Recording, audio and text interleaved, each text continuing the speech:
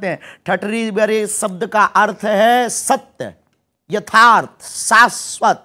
एक दिन ठटरी सबकी बरनी है और उसकी ठटरी बर चुकी जो सनातन के खिलाफ।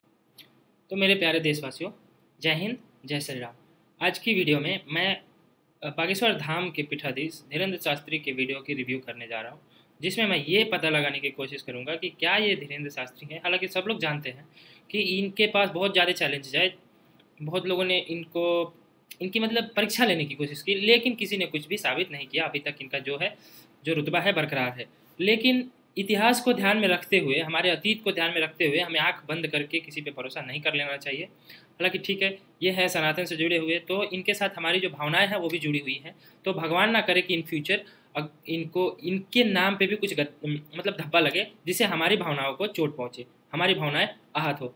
तो इसी बात को लेके आज इस वीडियो में हम चर्चा करेंगे, क्योंकि हम जानते हैं, देखिए, इससे पहले भी एक, सब लोग जानते हैं, आसाराम बापू आए थे, जिनका भी क्रेज बहुत ज़्यादा था, लोग झगड़ा करने के लिए भी उतावले हो जाते थे उन पर लेकिन, अंतो, अंततः उनका क्या रिज़ल्ट आया, वो भी हम लोगों ने देख लिया, लेकिन मुझे नहीं लगता है, और मैं ये भी नहीं चाहूँगा कि इनके साथ भी वो हो, क्योंकि हमारी भावनाएँ हमारे सनातन के योगियों से, हमारे सनातन के प्रवक्ताओं से जुड़ी होती है।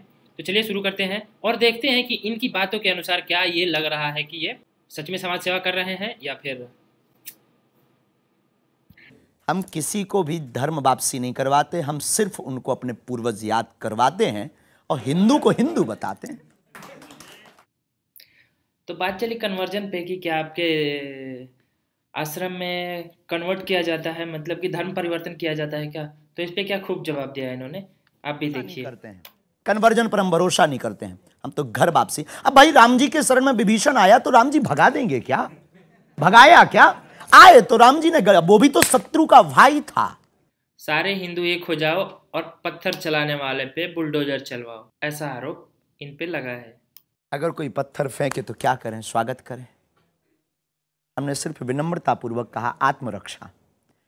हमारा यह बयान पूर्णतया अहिंसात्मक है। इसमें हिंसा को बुलडोजर चलवाना अहिंसात्मक अहिंसात्मक है। इसमें हिंसा को किंचित मात्र भी जगह नहीं है। हमने ये नहीं कहा है कि किसी का घर मिटाओ।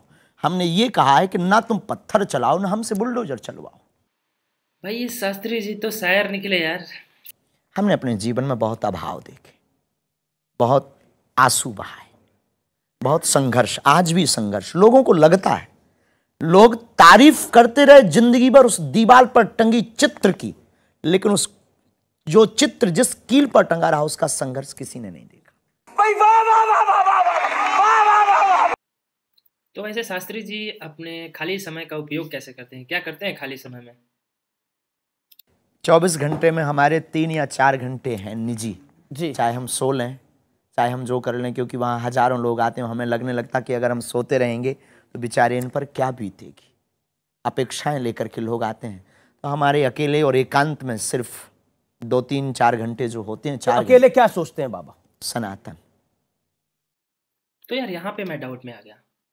एक तो 24 घंटे में से चार घंटे मिले और उसमें भी इंसान सोए ना आराम ना करे। ये तो कुछ ज़्यादा हो गया। खैर जब इनसे पूछा गया कि ये अंधविश्वास फैलाते हैं का कन्वर्जन करते हैं तो इस पे इनका क्या रिएक्शन था? पहली बात तो हम धर्म परिवर्तन नहीं कराते, दूसरी बात हम कोई अंधविश्वास नहीं फैलाते हैं। इस देश में चादर चढ़ाना श्रद्धा है। इस देश में कैंडल जलाना श्रद्धा है। इस देश में वो हलीउल्लाह कह के एक व्यक्ति को पकड़कर 25 व्यक्ति में करंट लग जाना श्रद्धा है। लेकिन हनुमान चालीसा का उपाय बताना अंधविश्वास हो गया है। तो चलो यार, इसी बात पे मेरे पास एक वीडियो है जो मैं चला देता हूँ। देखो, उसमें कैसा चमत्कार हुआ है। उस पर क्या कहोगे? तो यहाँ पे ऐसा लगता है कि फेस पे मिट्टी लगी हुई है वो उसने हाथ से अपने अपने हाथ से उसको साफ़ कर दिया और पूरा चेहरा साफ़ हो गया। क्या बात है कैसा चमत्कार है ये। कुछ भी नहीं हनुमान जी के पास सब कुछ लेकिन इतना कहते हैं कि अगर आप कहते हो कि कुछ होता नहीं है तो गीला करके भेजेंगे। वैसे ये तो कुछ ज़्यादा ही हो गया पर ठीक है यार कहते हैं ना कि ज़्यादा सीधा बनोगे तो ठोक दिए जाओगे। थोड़ा टेढ़ा भी होना बहुत ज़रूरी है।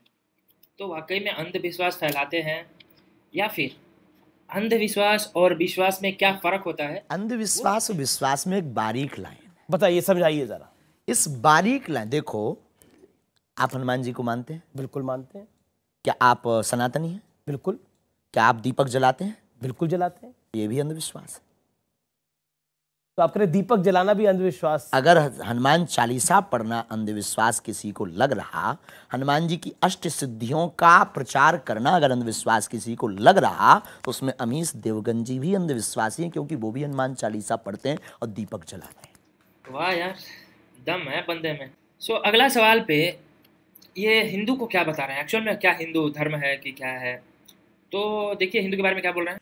हिंदू का मतलब हिंसा को दमन करने पर जो भरोसा रखता है वो हिंदू की बात होती है और आपने 2024 का ज़िक्र किया था कि अब हम 2024 की तैयारी कर रहे हैं। क्या तैयारी कर रहे हैं 2024 हिंदू राष्ट्र की। You very चालाक ब्रो हाँ बहुत चालाक। चालाक ब्रो चालाक। तो भाइयों सबसे मज़ेदार सवाल। ये शास्त्री जी हिंदू राष्ट्र बनाने पर क्यों अड़े हैं? इसके सबसे मज़ेदार जवाब सुनिए। अगर हिंदुस्तान में रहने वाला हिंदू राष्ट्र की जिद पर नहीं अड़ा तो वो हिंदुस्तानी है ही नहीं। वो लगता है वेस्ट इंडीज का आदमी है। अगर हिंदुस्तान में रहकर हिंदुस्तानी व्यक्ति हिंद महासागर के सन्निकट रहने वाला ही हिंदू राष्ट्र नहीं कहेगा तो क्या पाकिस्तान वाले कहेंगे? कैसे आप कह सकते हैं कि इस देश को ऐसा बना देंगे? कैसे बनाएँगे आप? तो आप अंबेडकर के संविधान को जला देंगे क्या? Good question. You are a good question. उन्होंने कहा कैसे आप कह सकते हैं? जैसे इनके लोग गजवाए हिंद कह सकते वैसे हम भगवाई हिंद कह सकते